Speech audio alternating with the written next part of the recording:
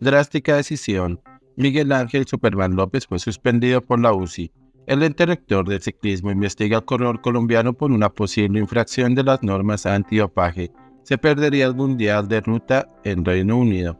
El ciclista más ganador en la presente temporada en el pedalismo mundial con 21 triunfos, el colombiano Miguel Ángel Superman López se vio obligado a frenar su gran andar sobre la bicicleta luego de ser suspendido de manera provisional por la Unión Ciclística Internacional.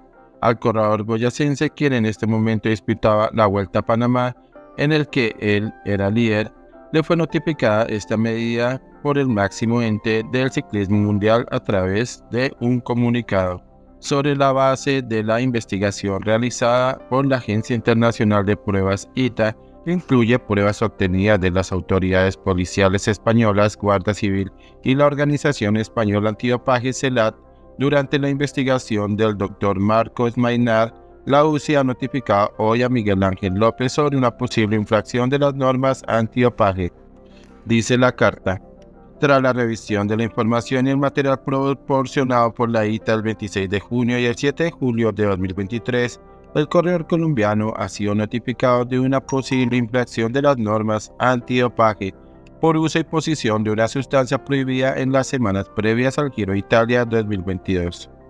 La UCI ha decidido suspender provisionalmente al corredor a la espera de la decisión final.